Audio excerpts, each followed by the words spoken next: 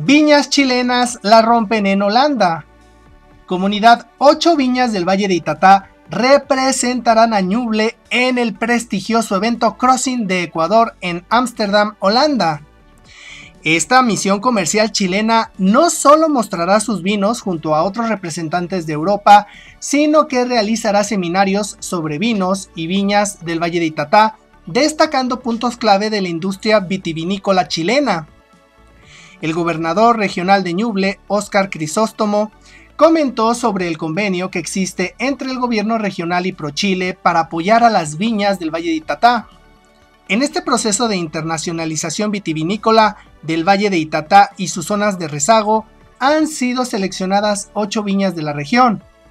Con esto seguimos reforzando el interés y preocupación que tenemos desde el gobierno regional para ir avanzando y entregar oportunidades a nuestros productores locales, particularmente hoy que luego de los incendios han sido altamente afectados por lo que nos hemos comprometido a adelantar procesos con el fin de generar nuevas oportunidades para cada uno de ellos. Así, los vinos característicos del Valle de Itatá se presentarán junto con alrededor de 30 viñas chilenas que participarán en esta actividad.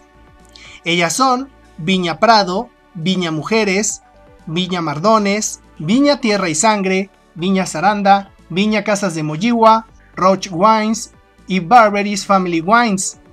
Agradecemos el apoyo que ha entregado el gobierno regional participando y apoyando gracias a los fondos para poder promocionar el sector y que nuevas viñas se vayan sumando a estos desafíos. De las ocho viñas que representarán a nuestra región, cuatro son lideradas por mujeres y las otras cuatro nunca han exportado. La idea es poder abrir mercados a largo plazo y que el productor pueda insertar sus ventas en el mercado internacional, señaló Cristian Paves. Muy bien comunidad, hasta aquí vamos a dejar la nota. Yo soy Alfredo Mata, por favor apóyenme compartiendo en sus redes sociales.